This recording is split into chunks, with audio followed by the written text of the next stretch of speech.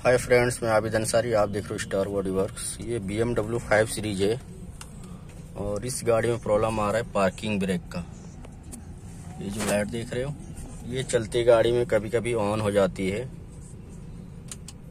तो अभी अभी तो नॉर्मल बता रहा है। जब मैं इसको ऑन कर रहा हूँ तो ऑन तो हो जा रहा है। ये देख सकते पार्किंग ऑफ़ किया तो ऑफ़ भी हो गया।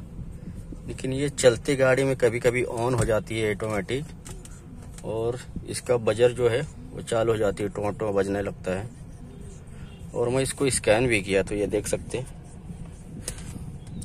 ये पार्किंग ब्रेक का फॉल्ट कोड आ रहा है इलेक्ट्रिक पार्किंग ब्रेक में। ये right actuator short circuit to ground और इसका कोड है four eight zero five nine F दूसरा है four eight zero five E three. ये एक्चुएटर पोजीशन इम्पॉसिबल तो ये फॉल्ट कोड आ रहा है। पार्किंग ब्रेक में तो फॉल्ट है। तो ये मुझे चेक करना पड़ेगा रियर व्हील राइट साइड की। कहीं शॉर्ट सर्किट वगैरह तो नहीं है, कोई वायर वगैरह। और ये खड्डे में जाने के बाद में ज़्यादा प्रॉब्लम आ रहा बोल रहे कस्टमर कहीं पे अगर अपट जाती है तो ये लाइट बार बार आने लगता है फिर। तो वायरिंग उसका चेक करना पड़ेगा, कहीं तो वायर उसकी शॉर्ट हो करके और कट वगैरह हो करके। बॉडी में कहीं से अर्थिंग वगैरह तो नहीं ले रहा तो वायरिंग चेक करना पड़ेगा इसमें। तो हम खोलते हैं रियर व्हील और देखते हैं क्या प्रॉब्लम है।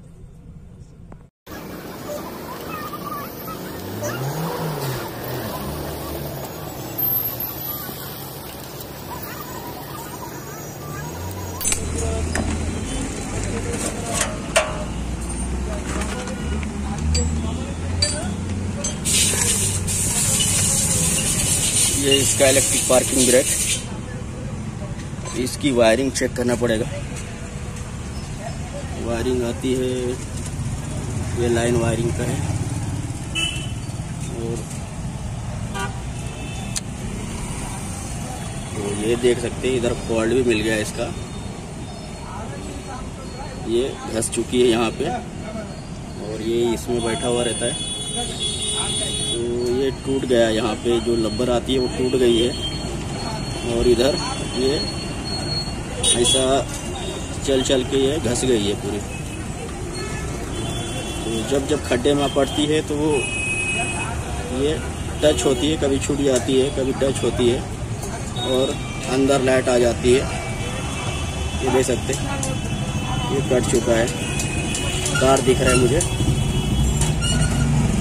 ज़्यादा बड़ा कुछ प्रॉब्लम था नहीं इसमें। इसकी प्रॉब्लम भी मिल गई, मिल गया मुझे फटक से। वो सिर्फ़ इसको टाइपिंग करेंगे और इसका जो फॉल्ट कोड है, वो क्लियर कर डालेंगे। तो कहीं शॉर्ट रहेगा बॉडी शॉर्ट तो ही ये फॉल्ट आती है। जल्दी से तो ये फेल होती नहीं इसका पार्किंग ब्रेक तो हम इसको टैपिंग करते हैं, इसका फॉल्ट कोड जो है, वो क्लियर करते हैं और यहाँ पे अच्छा सा फिटिंग कर देते हैं इसको। इसको मैंने टैपिंग वगैरह अच्छे से कर दिया हूँ। और ये देख सकते हैं, ये फिटिंग भी हो गया है। अभी हिलेगा नहीं क्योंकि तो टैपिंग अच्छा मार दिया हूँ अभी इसका फॉल्ट फोल्ड को क्लियर करते हैं। इसको कर देते हैं क्लियर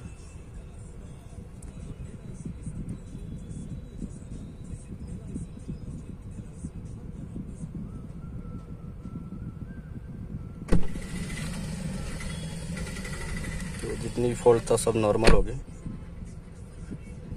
और गाड़ी को भी करते हैं स्टार्ट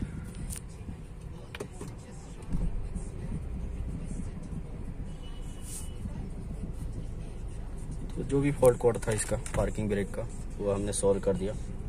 तो ज़्यादा कुछ बड़ा काम नहीं था इसमें।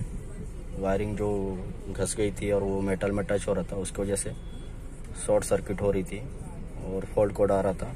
तो हमने वायरिंग कर दिया और इसकी प्रॉब्लम सॉल्व हो गया।